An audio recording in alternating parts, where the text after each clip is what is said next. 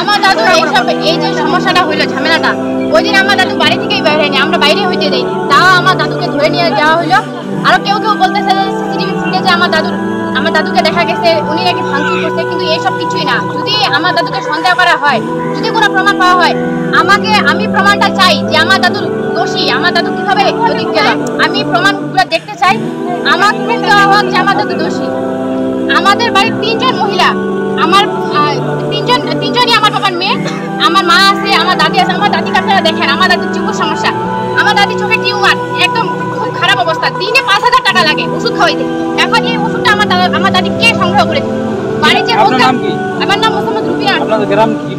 নতুন বন্দর গ্রামে আমরা বাস আপনার দাদার নাম কি? আমার দাদার নাম সাইদুর রহমান যাকে নিয়ে গেছে। আমার বাবা ভয়ে এখন থানাও যেতে পারছে না কোথাও যেতে পারছে না। আমরা মহিলাগুলো সবাই এরকম সবারই যারা নির্দোষ যারা নির্দোষ তাদেরকে ধরে নিয়ে যাওয়া হচ্ছে।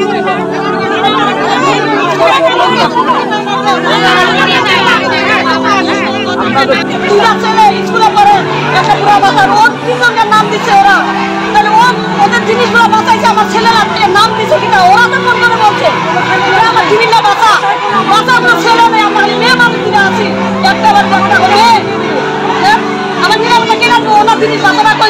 আমার ছেলেটা বাঁচাইছে বাসা থেকে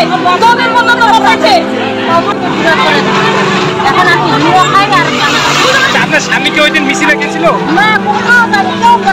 পারবে আমার শুনলেও জানে ওই আবার একটু সারা দিচ্ছে আমার ওরা দেখাইতে পারবে। কিন্তু পুলিশ তো বলছে যে সিসিটিভি ক্যামেরা ধরে দেখতেছে আমি যাই ওরা দেখাইতেও পারবে না আচ্ছা ঠিক আছে আমার স্বামীর ছবি দেখাইতেও পারবে আমাকে এটা যতটুকু হয় আমাকে ইয়ে করবে না আমার স্বামীকে দেখাই। আমি কীভাবে ওষুধ খাব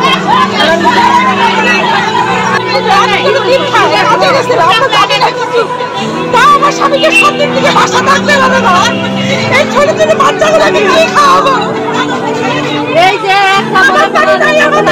এইটা আমার স্বামী ছেলেগুলো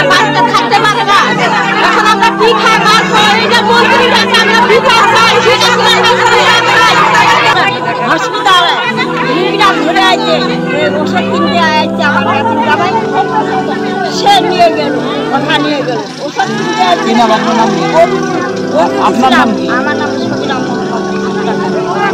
সবিনা মোহাম্মদ লাগে এখন বাজার সেও দোষী যে সেও দোষী আজকে একটা বাচ্চা একটা ওরা বাসা থেকে নিয়ে যেতে পারি না পুরুষ আমাদের বাসায় নেই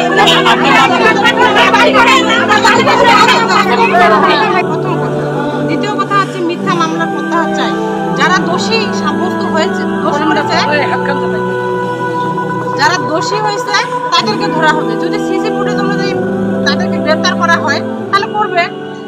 সাধারণ মানুষকে কেন করবে? আজকে আমার দুই চাচা জেলে। আমাদের পরিবারগুলো কি অবস্থায় আছে আমরা কীভাবে বুঝব?